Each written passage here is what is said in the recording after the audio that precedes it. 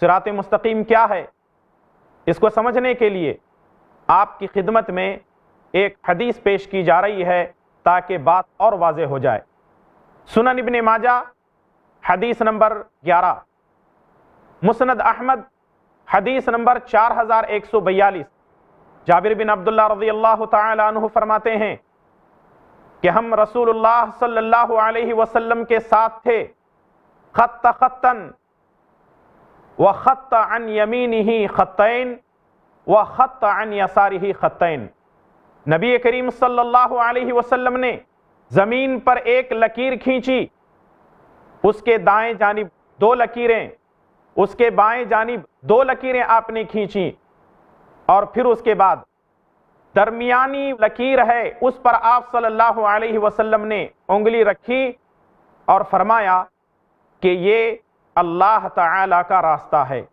مسند احمد کی ایک اور روایت، جس میں اللہ کے پیارے نبی صلی اللہ علیہ وسلم نے فرمایا کہ یہ جو سیدھی لکیر ہے، یہ صراط مستقیم ہے، یہ میرا راستہ ہے اور دائیں اور بائیں جو راستے ہیں، وہ شیطانی ہیں۔ اس سے اپنے آپ کو بچانے کی کوشش کرو۔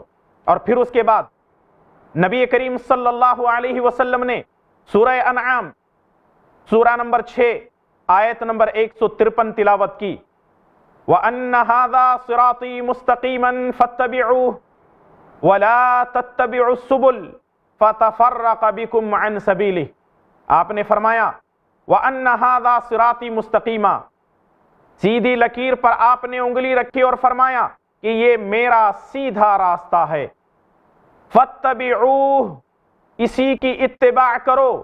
اسی کی پیروی کرو، اسی پر چلو، وَلَا تَتَّبِعُوا السُّبُلِ۔ دائیں اور بائیں جو شیطانی راستے ہیں، اس پر نہ چلو۔ فَتَفَرَّقَ بِكُمْ عَنْ سَبِيلِهِ۔ ورنہ تم سیدھے راستے سے بھٹک جاؤ گے، گمراہ ہو جاؤ گے۔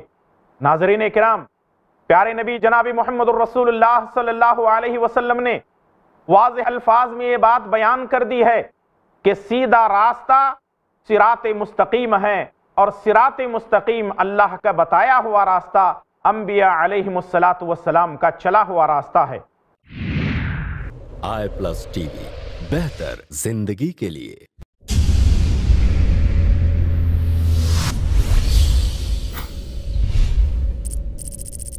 اپنے کیبل یا ڈی ٹی ایچ آپریٹر سے آئی پلس ٹی وی آج ہی ڈیمانڈ کریں۔